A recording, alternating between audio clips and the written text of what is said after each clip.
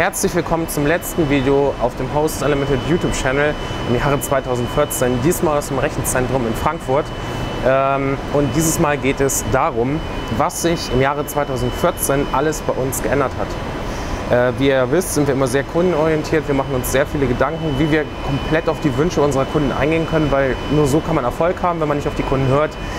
Ja, es gibt genug Anbieter, äh, wo man hinwechseln kann, wenn man nicht zufrieden ist. Deswegen wirklich, wir achten immer drauf, immer wenn wir mal eine schlechte Bewertung äh, bekommen oder erhalten, lesen wir uns die genau durch, überlegen, was kann man da verbessern, ist es gerechtfertigt und ja, über das Jahr hinweg sind wir da auf einige Sachen gestoßen, die wir jetzt eigentlich komplett in der gesamten Co-Location verbessert haben.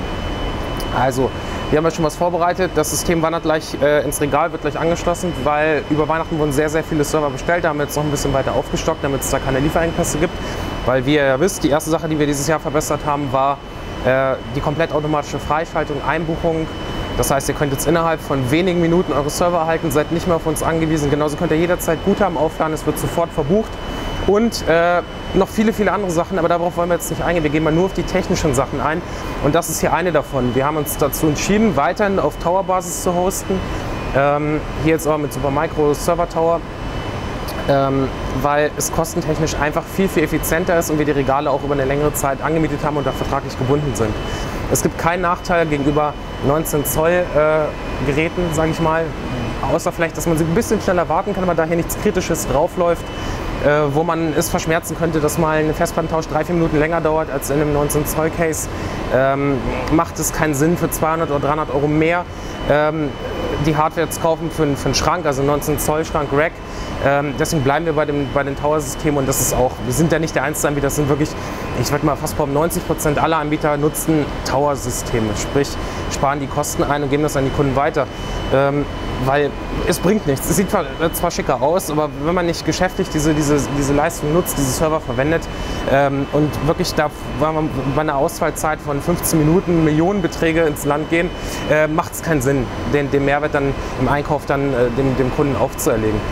Ähm, ja, was haben wir jetzt gemacht? Wir haben uns überlegt, wie kriegen wir auf unsere Regalfläche das Maximum an Leistung, wie kriegen wir es hin, Maximum an Arbeitsspeicher zu verbauen. Hier haben wir jetzt ein System mit 256 GB Arbeitsspeicher hat verbaut, zwei Xeon CPUs mit 20 echten Kernen und nochmal 20 HTs. Das System hat also 40 Hyperthreading, also insgesamt 40 Threads. Genau, 20 echte Kerne und 20 Hyperthreading Threads macht insgesamt 40 Threads, die das System bearbeiten kann gleichzeitig. 256 GB äh, Arbeitsspeicher, ECC RAM, Server RAM auf einem Supermicro Server Mainboard mit einem Supermicro Netzteil, also sehr, sehr ausfallsicher für den Dauerbetrieb ausgelegt. Spezielle Serverlufter von Supermicro, die auch auf den Dauerbetrieb ausgelegt sind. Ähm, ich hoffe, ich kann das hier mal rausfriemeln, weil den Rahmen gibt es dafür leider nicht für die Gehäuse. Deswegen haben wir das hier oben reingelegt. Juckt ja auch nicht, die Systeme werden ja nicht bewegt. So, Datenträger ist hier in dem System äh, eine 1 Terabyte äh, Samsung Evo SSD. Diese Daten werden natürlich auch nochmal gesichert. Die werden nachts auf unserem File-Server gezogen. So viel fällt da nicht an, weil in der Regel liegen da vielleicht 200 GB drauf. Die werden nachts übers ähm, Internet ähm, nochmal ausgelagert. Das heißt, wenn die mal kaputt geht, geht nicht alles verloren. Ähm, in einigen Systemen haben wir auch zwei Stück verbaut. Ich glaube, hier kommt sogar noch eine zweite rein. Da weiß ich jetzt nicht, will ich jetzt nichts Falsches sagen. Auf jeden Fall auch hier sehr, sehr gut ausgestattet.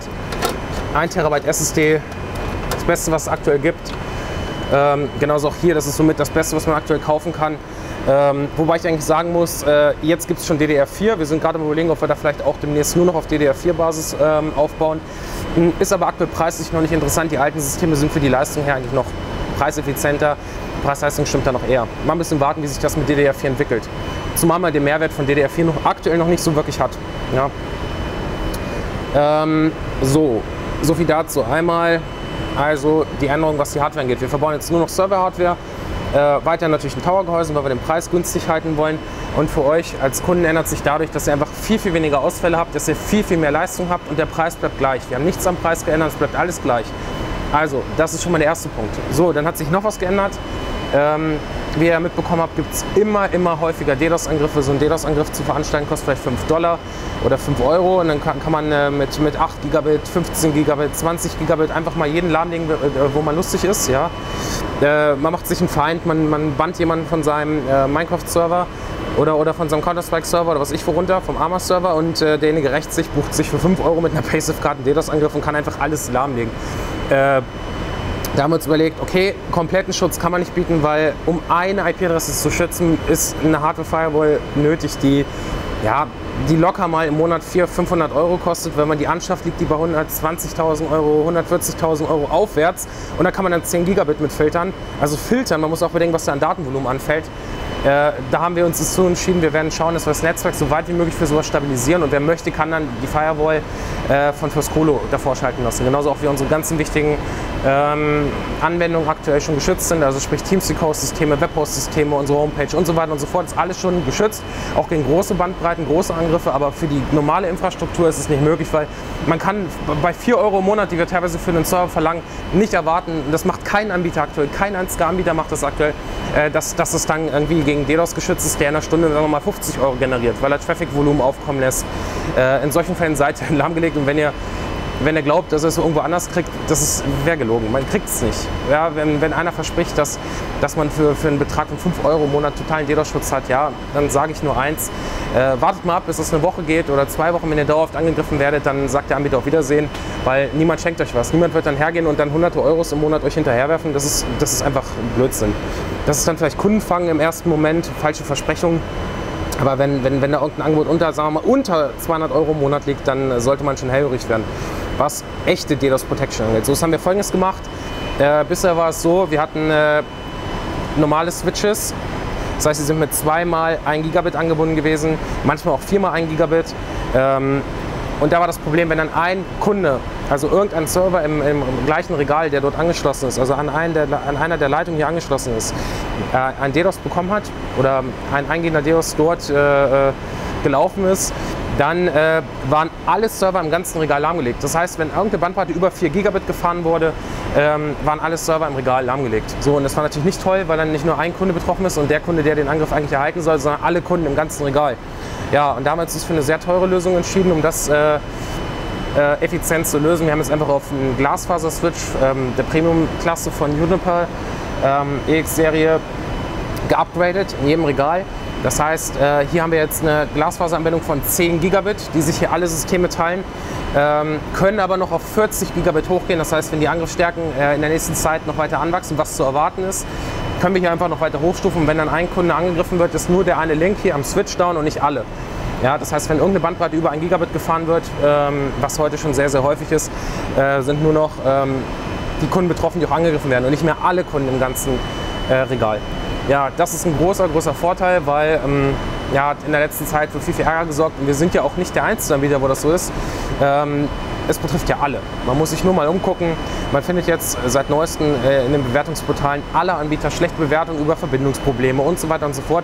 Und die wenigsten werden jetzt den Schritt wagen und auf 10 Gigabit äh, upgraden, also echte 10 Gigabit, wo es dann auch wirklich im Rechenzentrum aufkommt, weil das ist mit immensen Kosten für uns verbunden.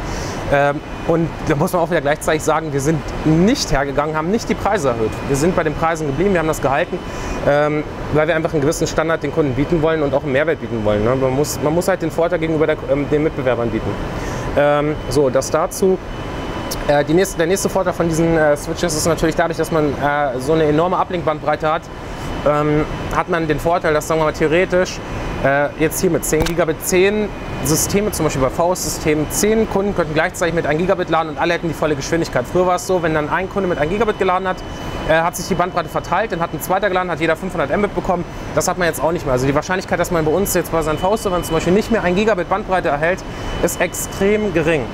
Ja, das heißt, man hat eigentlich fast immer, man könnte fast sagen, garantierte Bandbreite äh, von 1 Gigabit weil der Fall wird nicht eintreten, dass hier sagen wir mal elf äh, Kunden gleichzeitig mit 1 Gigabit laden, ähm, sollte nicht auftreten. So, einmal das. Ähm, ja, Rechnerverkauf lief ja auch. Wir haben jetzt so gut wie alle Systeme, was auch unser Ziel war, bis zum Jahresende abverkauft. Ein paar haben wir noch im Büro stehen, ich glaube sechs oder sieben. Die werden demnächst noch angeboten zu sehr, sehr günstigen Preisen. Also wer Interesse hat, mal einfach ins Forum schauen. Ähm, und dann haben wir wirklich eigentlich nur noch solche Hardware im Einsatz. Und da kann keiner mehr meckern. Das ist echt aktuell das Beste, was man kaufen kann. Na gut, man könnte vier Cores äh, verbauen und noch mehr Arbeitsspeicher, gar kein Problem, aber man muss sich auch fragen, was passiert, wenn so eine Maschine dann mal ausfällt, da sind viel zu viele Kunden betroffen. Was kostet es, wenn man dafür Ersatzteile lagern enthält? Also damit fahren wir jetzt wirklich sehr, sehr gut. Alles, was drüber kommt, Äh, ist zwar möglich, aber macht äh, rechnerisch absolut keinen Sinn mehr und auch nicht, äh, ja, wenn man das bedenkt, man kriegt hier so gesehen jetzt einen Porsche zum Preis von Polo bei uns.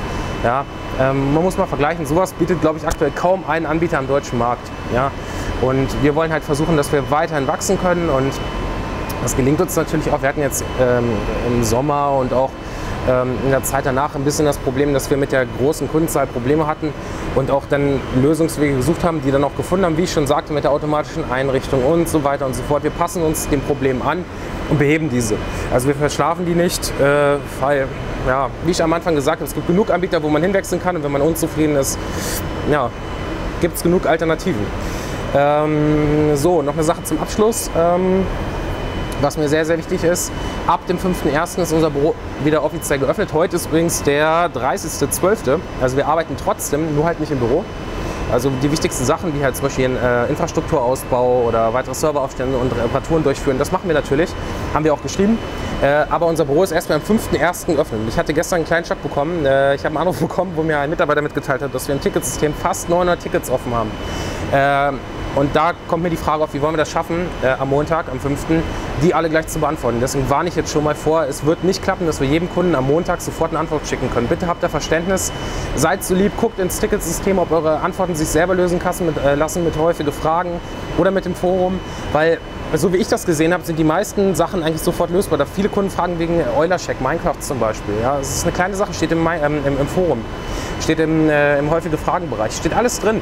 Die meisten Kunden äh, schreiben so Sachen, die, ja, die könnte man noch selber könnte man noch selber erörtern. Die wichtigen Sachen werden natürlich alle bearbeitet, aber bitte, bitte, bitte, nehmt euch die Zeit, guckt drüber, ob ihr die Sachen nicht selber lösen könnt, damit die, diese Zahl von 900 Tickets, was bestimmt bis Montag auf 1000 oder 1100 Tickets ansteigt, ähm, ein bisschen verringert wird und wir euch schneller helfen können.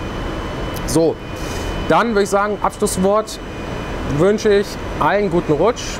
Viel Freude mit unseren neuen Produkten, die sich in 2014 noch weiter verbessert haben, die sich in 2015 noch, noch weiter verbessern werden. Der nächste Schritt ist nämlich, wenn hier die, die Colocation stimmt, werden wir unseren Support noch viel, viel weiter ausbauen. Äh, weil wir streben da wirklich an, dass man, dass man diese Wartezeiten am Telefon wegkriegt. Da sind wir noch dran, das wird noch gemogelt und gedreht. Äh, gemodelt, gemogelt, gemodelt, modellieren, so meinte ich das. Bei uns wird nicht geschnitten, könnt ihr wieder schöne Kommentare schreiben von wegen, ah, ne, ihr wisst schon Bescheid. In einem Video gab es ja da mal irgendwie äh, so, einen, so einen netten Kommentar von wegen, ja, ob wir nicht schneiden können. Aber bei uns ist es nicht nötig, wir wollen euch nur informieren. Soll kein High-End-Werbevideo werden, sondern einfach nur pure Informationen für die Leute, die sich dafür interessieren. Und alle anderen können ja abschalten. Und äh, so, nochmal zurück. Also, allen Kunden einen guten Rutsch ins neue Jahr 2015. Ich bedanke mich für das viele, viele Verständnis, was ihr uns entgegengebracht habt, für das viele, viele Vertrauen, dafür, dass unsere Firma inzwischen so gigantisch groß geworden ist, dass wir dass wir euch solche Sachen hier ermöglichen können, solche teuren Serversysteme anschaffen können und die euch zur Verfügung stellen können. Das ist einfach ein Wahnsinn und auch die Unterstützung, die uns entgegengebracht wird, wie viele Kunden uns äh, äh, die tollsten Sachen zugeschickt haben, ähm, die, die uns die coolsten Banner erstellt haben, die die, die, die coolsten YouTube-Videos erstellt haben. Da gibt es so viele Sachen, äh, da könnte ich stundenlang erzählen. Wir sind einfach nur dankbar dafür, dass ihr uns derartig unterstützt. Ähm, und alle Kunden, die wir vielleicht im Jahr 2014 enttäuscht haben, weil das bleibt leider nicht aus, das schafft man nicht. Man schafft es nicht immer alles richtig zu machen, das schafft keine Firma. Äh, bei dem möchten wir uns entschuldigen und denkt dran, ähm, bei uns war es noch nie so, dass ein unzufriedener Kunde leer ausgegangen ist. Also wenn mal irgendwas schief gelaufen ist, ist mal eine Festplatte kaputt gegangen oder irgendwas. Oder was haben wir denn noch gehabt? Äh, Im alten System wurden Zahlungen teilweise nicht sofort eingebucht. Meldet euch bei uns, ihr kriegt immer eine Gutschrift, könnt euch Credits schenken lassen und dafür dann äh, euren Server verlängern, neuen Server buchen. Wir sind also nicht jemand, eine Firma, die die, die Leute dann im Regen stehen lässt. Ja?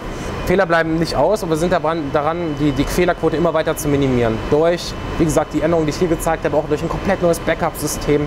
Also, da kommt noch so, so viel. Also wir wollen ja nicht äh, auf der Stelle stehen bleiben. So, guten Rutsch ins neue Jahr. Viel Gerede, aber langer Sinn. Und bis zum nächsten Video in 2015. Euer Tim von Host Unlimited.